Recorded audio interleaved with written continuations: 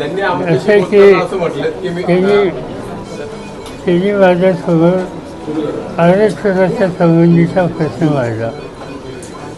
आणि आरक्षणाला सगळ्यांनी सहकार्य करावं अशा प्रकारची भूमिका त्यांनी मांडली. त्याच्यामध्ये माझ्या मते आज महाराष्ट्राचं सामाजिक वातावरण व्यवस्थित ठेवण्याच्या संबंधीची काळजी ही सगळ्यांनी पहिल्यांदा घेतली पाहिजे. दोन समाजामध्ये कटुता होणार नाही या दृष्टीनं पावले टाकली पाहिजे. आज वातावरण विविध काळजी घेतली नाही ते काय राहील हे सांगता येणार नाही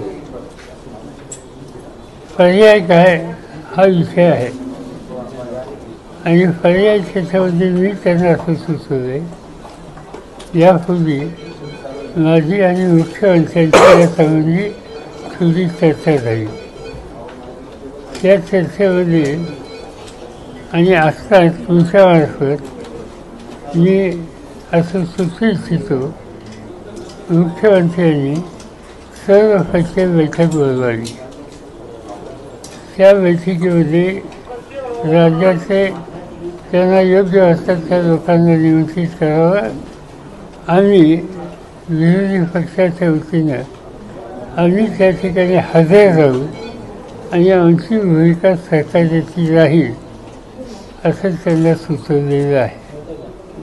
अपेक्षा अशी आहे की मुख्यमंत्री या संबंधीची बैठक बोलवतील त्या बैठकीमध्ये महत्त्वाचे राजकीय पक्ष जे त्यांना असतात त्यांच्या प्रमुखांना बोलवावं त्याशिवाय हा प्रश्न मांडण्याच्याबद्दल प्रत्यक्षानं गेले काही म्हणजे ज्यांनी कष्ट घेतले.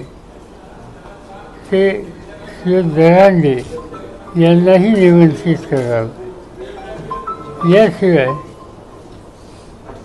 दुसरा जो वर्ग आहे ओबीसीच्या संदर्भातला त्या ओबीसीचं नेतृत्व करणारे जे कोणी घटक असतील तर त्याच्यात छगन भुजबळ असोत त्यांचे अन्य सहकारी असोत त्यांनाही निमंत्रित करावं.